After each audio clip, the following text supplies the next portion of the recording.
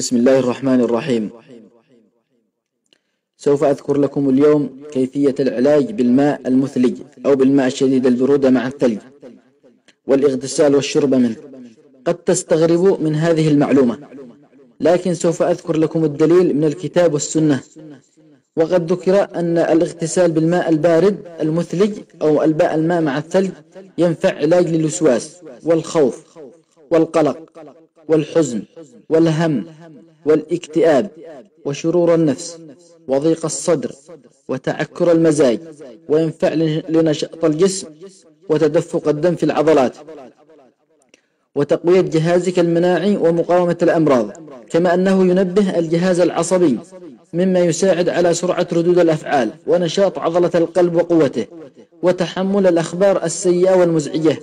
وقيل ينفع أيضا وقت الغضب والزعل ويهدي من روعه لأن الشيطان يجري في ابن آدم مجرى الدم ويسبب له الأوجاع ولا يطفئه إلا الماء المثلج لأن الشياطين والجن مخلوقين من نار والعياذ بالله والماء البارد يؤذيها ويطردها من الجسد. وقد تكلم الشيخ عبد المجيد الزنداني ضمن سلسلة إعجازه العلمي وذكر كل ما قلت وعن تأثير الاغتسال بالماء البارد وتأثيره على الممسوس وكيف أنه يفسد مركبات المس والسحر. واستدل الشيخ بقوله تعالى واذكر عبدنا أيوب إذ نادى ربه أني مسني الشيطان بنصب وعذاب فكان الجواب من ربه اركض برجلك هذا مغتسل بارد وشراب. فكان الشفاء من الله بالاغتسال بالماء البارد والشرب منه.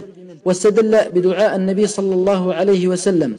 اللهم اغسلني من الذنوب والخطايا بالماء والثلج والبرد وتكفينا معرفة أنه كان سببا لشفاء سيدنا أيوب عليه السلام. أما عن الاستحمام بالماء الساخن فيقول ابن سيناء أن الماء الحار يهلك والجسم وطاقته وبالرغم من أنه قد تشعر بالخوف من الاستحمام بالماء البارد إلا أنه عند نهاية الدش وتكثيف الجسم ستشعر بارتياح وهدوء أعصاب ونشاط وحيوية. أفيدوا غيركم بمثل هذه المواضيع لما له من أهمية بالغة فإن الكثير وللأسف يجهل هذه النعمة الكبيرة والفوائد الكثيرة. جزا الله خيرا كل من شارك هذا الفيديو أو نشره.